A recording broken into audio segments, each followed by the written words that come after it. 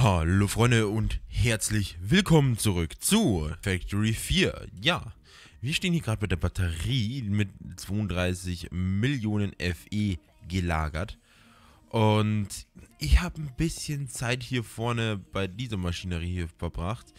Ihr seht schon, hier sind im Grunde Holzchips drin, die erzeugen Crystallized Merlin Chunks, genauso wie, ähm, ups, ähm, wie Blocks, indem ich hier oben das Zeug einfütter und dann die Maschine rein theoretisch durch, ist aber gerade nicht so.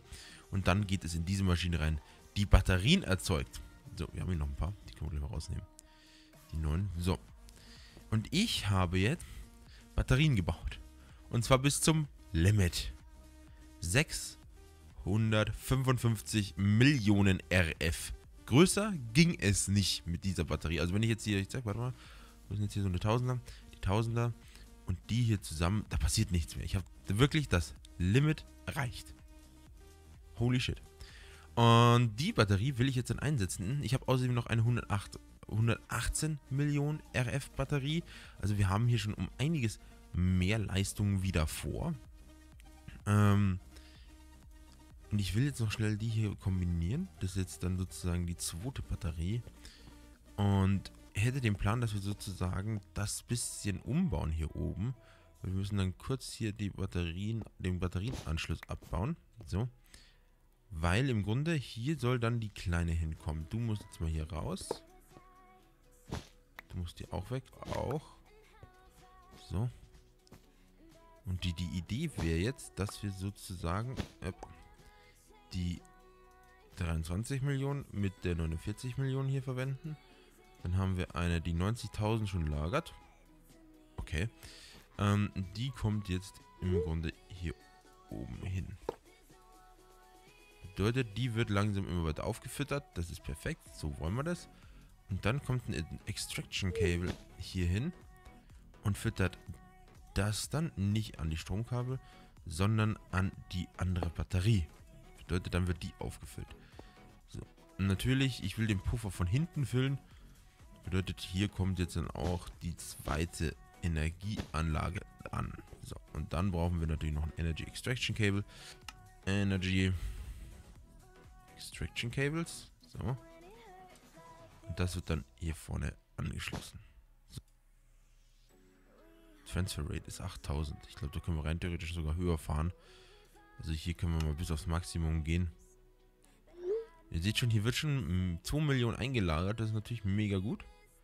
Aber die Batterien halten natürlich jetzt ein bisschen mehr. Vor allem, dass wir durch zwei haben, sind wir bei über 800 Millionen RF, die wir lagern können. Was natürlich, denke ich, ein guter Puffer ist, falls wirklich mal ein Stromausfall ist. Oder beziehungsweise wir keine Energie mehr einfach produzieren können. Sind wir in der Lage, einfach diese Batterien bis zum Rand auszunutzen. So. Genauso geht es hier mit unseren ähm, anderen Produkten gut voran. Ich habe jetzt hier eine kleine Absaugstation gebaut. Ich habe hier vorne das alles schon fast entfernt, was wir davor gebraucht haben. Und habe hier oben Karotten mit eingefügt, weil die Karotten mittlerweile so bummvoll sind.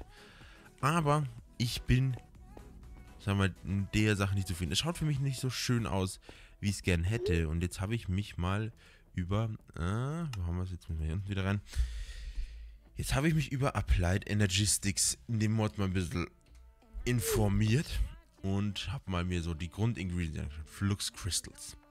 Flux Crystals sind, finde ich, gar nicht mal so schwer zum Herstellen. Wir brauchen Destabilized Redstone rein theoretisch und diese Crystallized Merlin Chunks. Die haben wir ja schon in Massen.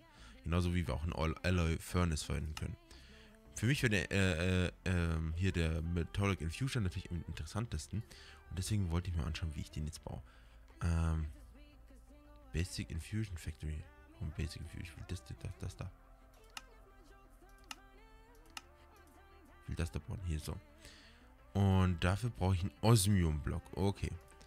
Osmium kann aus gemolten Osmium hergestellt werden. Schauen wir, dann schauen wir nach Osmium Amber und Nickel, Copper. So, jetzt habe ich vergessen, was mir fehlt. Ähm, Osmium Ember. Was sind die zwei Sachen? Schauen wir mal schnell. Das ist Quartz Resin und Nickel Resin. Nickel Resin habe ich gleich noch nicht, weil Nickel habe ich bis heute nicht produziert, wenn ich mich nicht irre. Oder habe ich und ich habe es verloren. Das könnte so typisch Standard für mich sein. Habe ich nicht Nickel produziert? Also Nickel ist jetzt kein Problem Nickel haben wir jetzt. Check.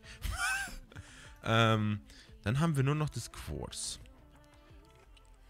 Das kriege ich nur aus den Quartz Trees. Also dafür brauche ich ja Emerald ähm, Dingies und halt den Magma Slime Block, bedeutet Netherrack. Ähm, Magma Slime und den müssen wir ja im Grunde aus Slime Ball und Magma Cream wird aus, hm, Starlight Infuser, okay. Oder Mechanical Squeezer. Wait. Habe ich nicht noch Magma Blocks? Nehmen wir die. Ich habe doch die Dinger sogar schon. Magma Cream. Ähm.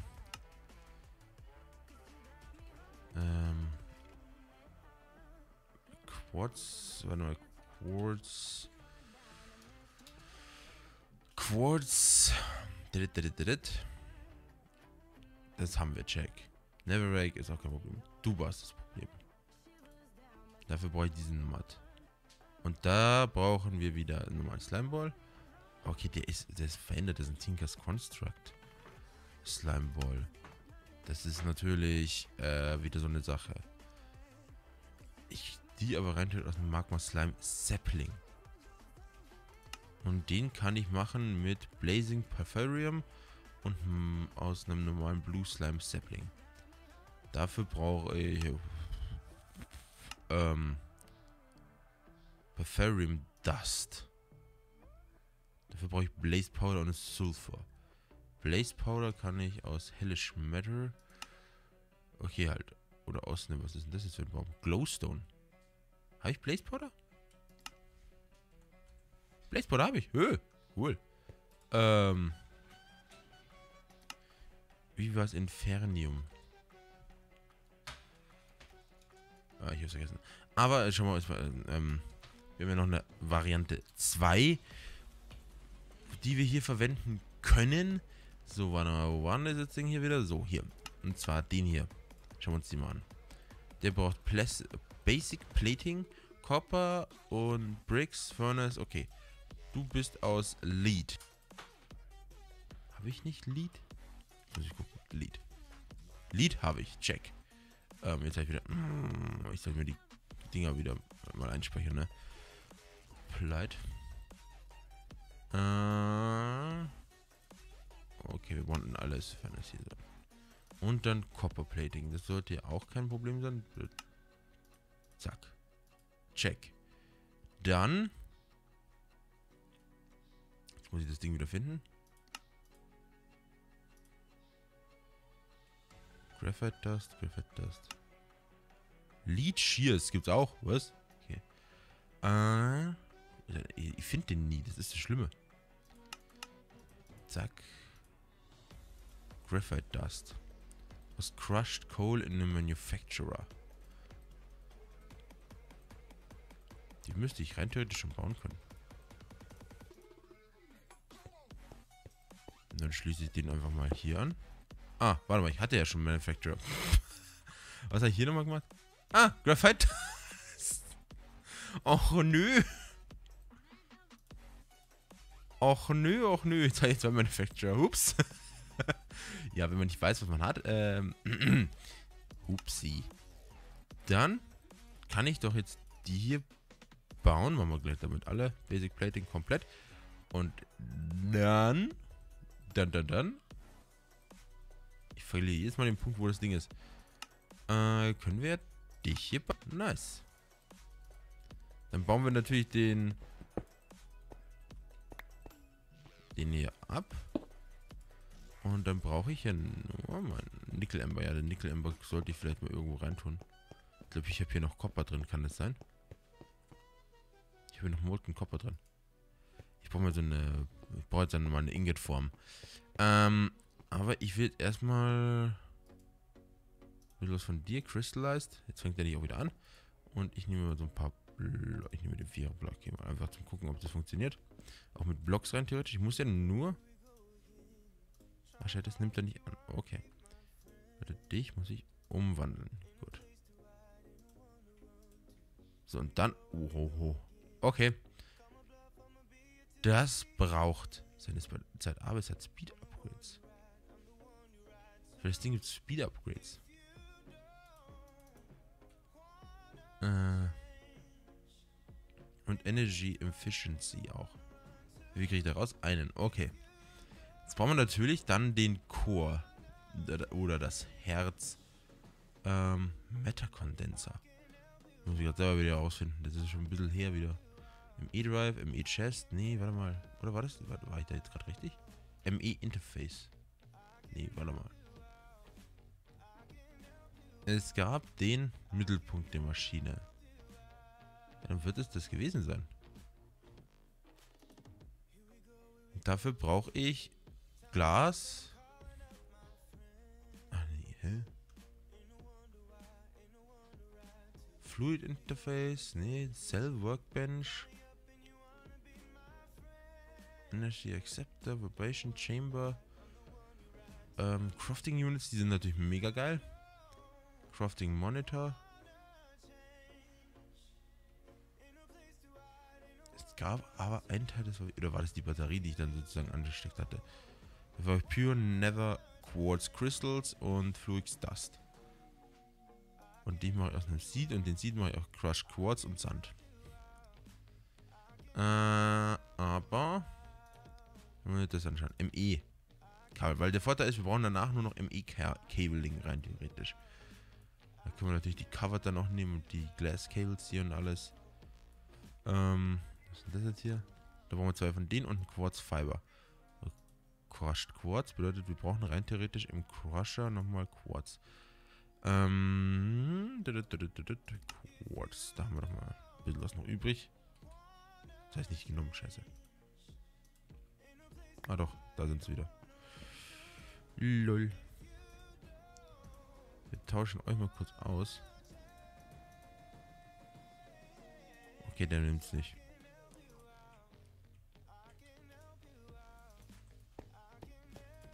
Nein. Ich muss schnell herausfinden, wie ich Crushed oder dieses Powder halt produziere. Im Grindstone, im Crusher, Manufacturer, ha.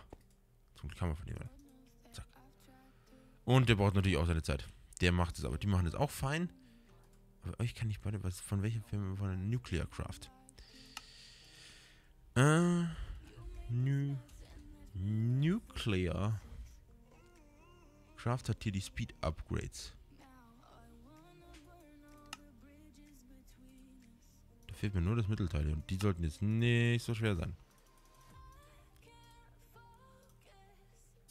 Und brauchst Crushed Obsidian Dust. Wie kriegt man den auch aus dem Enrichment Chamber oder aus dem Mechanical Squeezer? Okay. Oder halt selber squeezen. Vorteil, äh, die, okay, die, die interessieren einen ja auch nicht unbedingt so. Mich interessiert eher das da. Hm? Willst du sagen, ich habe keinen Redstone mehr? Dann kriegst du jetzt Speed Upgrade hier. Und sich, mein Freund. Redstone.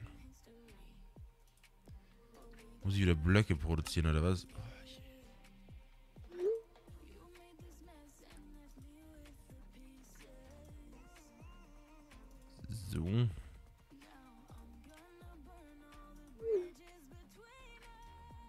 Ihr werdet mal zurückgeleitet, gelitten, gelitten, gelitten, gelitten.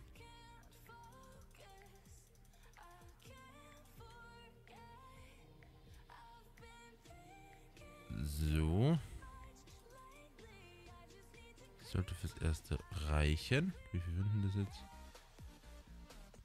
Ja, da kann ich bestimmt dann mein Zeug rausmachen. Nuclear Craft. Ah, ich bin im falschen. Tschüss. Mach die alle gleich mal. Ich will wissen, ob ich die stacken kann rein theoretisch. Yo. Mhm.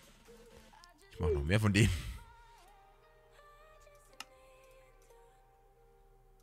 Ganzes Deck davon. Und dann ganzes... Hups.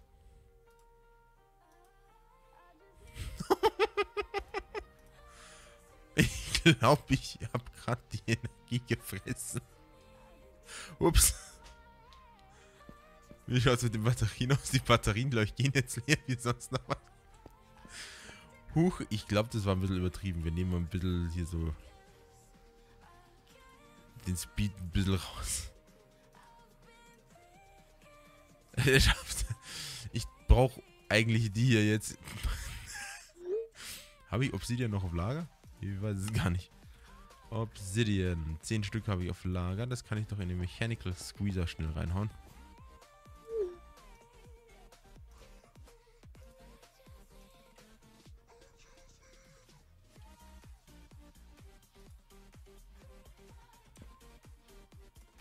So, brauche nur ein bisschen was davon. Danach ist eh wieder gut.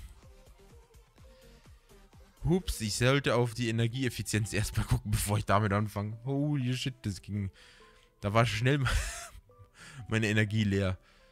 Äh. Hups. Das war irgendwie so eigentlich erwartbar, aber irgendwie doch unerwartet. Das ist auch kein Problem, wir machen auch zwei Stück von. Oder einmal das ganze Gold verwendet.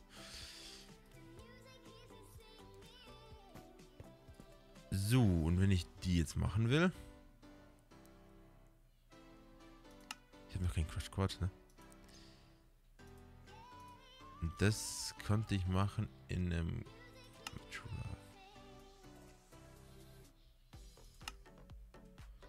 Jetzt brauche ich wieder Quartz. Ich habe doch Quartz dabei, was war denn denn? Achso, ich tue. Ich mache ja genau gerade das.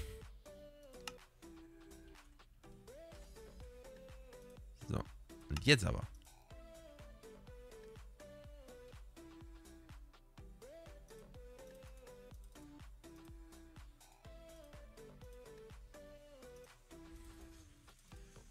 Geht das langweilig. Fünf Stück davon. Dann kriegst du drei. Du zwei. Ah genau, du brauchst noch Redstone. Du brauchst noch einen bisschen Redstone. Jetzt sind die ein bisschen energieeffizienter. Und saugen uns hoffentlich nicht komplett leer. Doch, saugen sie. Da brauchen wir eindeutig noch mehr Stromkammern oder halt in Zukunft wirklich einen Nuklearreaktor. Weil das Zeug ist halt brutal. So. Zurück in Story. Aber Leute, ich würde sagen, das war's für diese Folge. Ich hoffe, euch hat es gefallen. Wenn ja, lasst unbedingt einen Daumen nach oben da. Abonniert, wenn ihr noch nicht habt. Und wir sehen uns in der nächsten Folge wieder. Also, bis dann.